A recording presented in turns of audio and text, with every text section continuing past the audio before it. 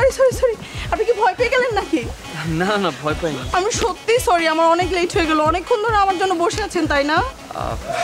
না না অনেকক্ষণ ধরে বসে নেই। তবে আপনার জন্য অপেক্ষা করতে আমার খারাপ লাগছিল না। আর আপনি আসাতে এখন আসলে ভালো লাগছে।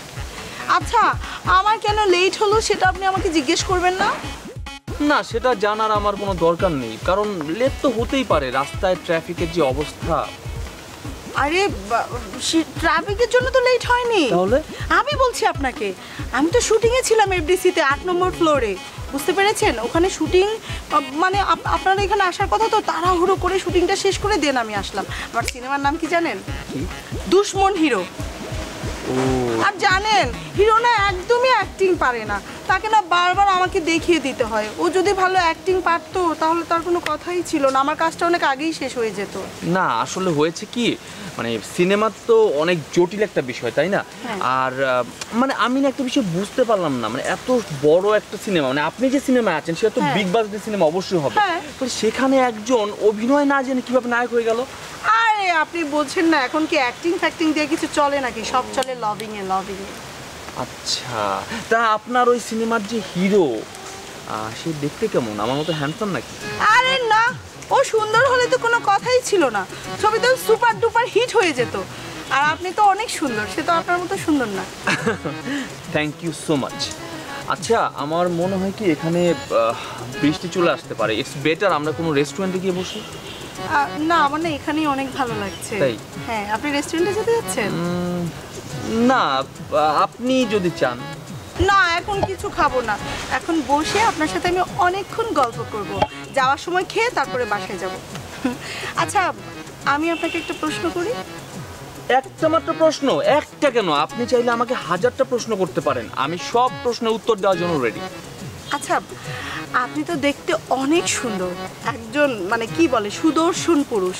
এত সুন্দর এত হ্যান্ডসাম এত ড্যাশিং আচ্ছা আপনি কেন ক্যামেরার সামনে এসে কাজ করছেন? না মিন্স হিরো ক্যারেক্টার কেন করছেন না?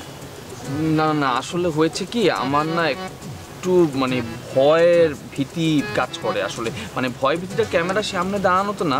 মানে বেসিক্যালি আমি হচ্ছে মেয়েদের সাথে না মানে কমফোর্ট ফিল করি না নার্ভাস হয়ে যাই। সো ওই নার্ভাসনেসের কারণে আসলে আমি চাই না হিরো টিরো হতে। আচ্ছা। তবে আপনি চাইলে মানে আপনি যদি আমাকে হেল্প করেন তাহলে হয়তো আমি হতে পারব। মানে আমার এই নার্ভাসনেস কাটানোর জন্য আর কি।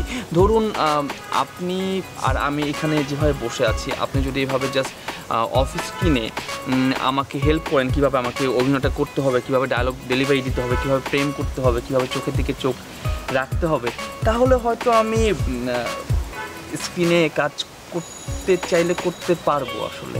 আপনি যে কি বলেন না আপনি চাইবেন আর আমি আপনাকে হেল্প করব না অবশ্যই আমি আপনাকে হেল্প করব।